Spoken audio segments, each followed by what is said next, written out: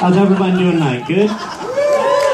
Great, yeah. I'm doing fine. Thanks for asking. Dicks. Don't worry about it. Yeah.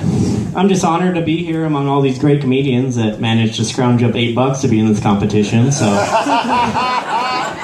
But seriously, I do have some great competition this tonight. Uh, give it up for your other comedians. Yeah. Give it up to yourself as well for being here. Yeah, yeah, I, it's a pretty stiff competition. I'm a little worried. I mean, most of these guys have been doing it for many years. I've been only doing it for less than a year, since June. I mean, I've been wanting to do it for quite a while. I even remember going to watch this competition when it was at that dungeon they call Monks. But I, finally worked up the, the nerve uh, last June when I made a pact with my, one of my coworkers to try out the open mic. So I thought I'd try it out. I think I did okay. I don't know, probably. I don't remember. I'm doing better now. But anyways, yeah. So I worked up the nerve to do that. I mean, I and I enjoyed it so much. I thought I'd keep up with it, you know, and hope maybe I get some women or money out of it. So far, I've gotten neither. So, I mean, maybe if I do win this competition, though, I'm buying myself a hooker. So at least I can say I got both. There you go. Yeah, like, like any comic, I have my influences. You know, I want to be like Jerry Seinfeld with less airline food jokes because I've never actually been on an airplane. Or like uh, Richard Pryor without using the N word because I don't think I can get away with it. I mean, I'm as white as an albino polar bear, so.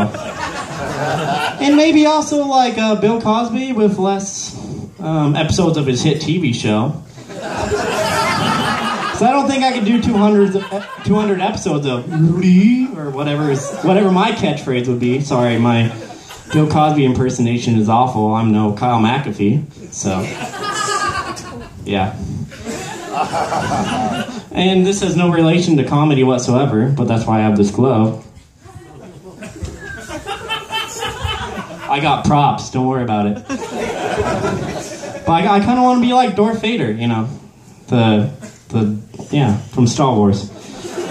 Which is why I always make like that gesture when I'm walking through the automatic door in a grocery store. You know, kind of like I'm using the force to open it. Does anybody else do that? Maybe a couple people? Yeah, I'm not the only weirdo. That's fine.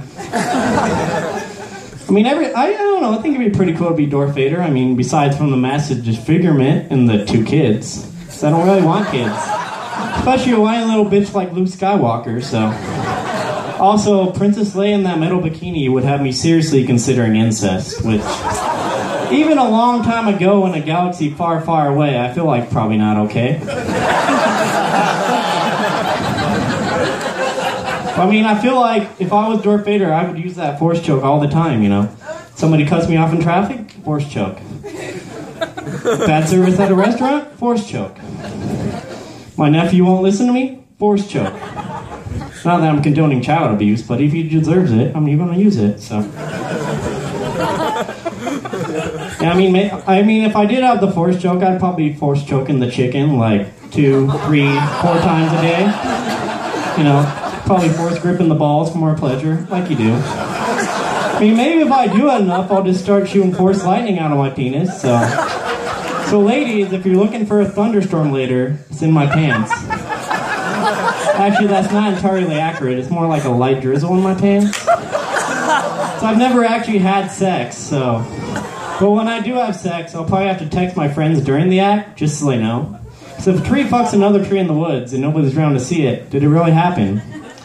Probably not, because trees don't fuck, but I'm almost done. Don't worry about it. I've never said that sentence to anybody, so. Anyways, anyways. My friends will be sitting around doing whatever they is they do when they're not hanging out with me. Uh, meth, blowing each other, working, because most of my friends are my coworkers who get paid to spend time with me, so. Be sitting at home, they'll check for me mid-sexing. No preamble, you know, just right to the nitty-gritty. Wah, wah. After two failed attempts, I've successfully entered her. Wah, wah. Thrust one. Feeling confident. Penis at maximum hardness. Wah, wah. Thrust two. Still confident. Penis as hard as Thor's hammer. Wah, wah. Hitting my stride. She seems to be enjoying it.